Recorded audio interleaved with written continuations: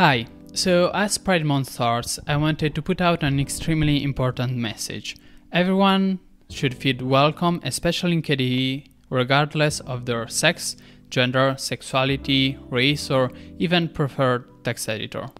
KDE is against homophobia, transphobia, racism, or any form of systemic hate as stated in the Code of Conduct.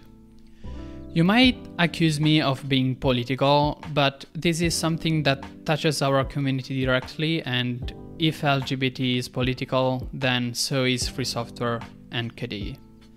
You might accuse me of virtue signaling like companies doing Pride, but we don't do it for promotion or money. We do it because KDE is a community of people that have to feel welcome even if they're transgender, homosexual, or if they use nano.